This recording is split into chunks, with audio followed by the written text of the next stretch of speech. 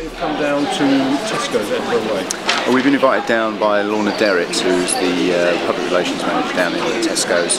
Um, we had a issue with our tablet during our Living with Luke performance in Harwich last month.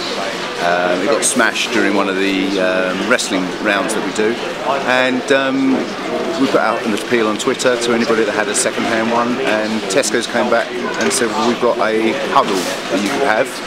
Uh, you're very welcome to come down and collect it. So that's why we're here today. And how has uh, Living with Luke in 2014 a great success? And yes. Great plans for 2015? Yes, we have. Yes, we've got um, two shows coming up in Burnt Mill at the end of January. Um, we've got two shows coming up in Stortford in March. Uh, we're going back to Colchester in July. We're going to Clacton in May and we've got, still got hope to uh, plans to go to the Edinburgh Festival in August as well. That's a big leap, isn't it? How mm. can you make that hope a reality to go to Edinburgh? Well, we're trying to look at ways to raise some funds for it. I think we're going to need um, quite a lot of money to, to get there, as well as a venue.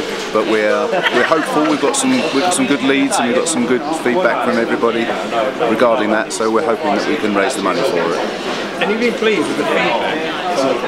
It's been incredible, um, absolutely amazing. Some of the feedback we've had.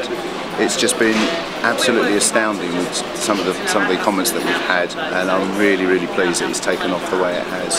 Steve, thank you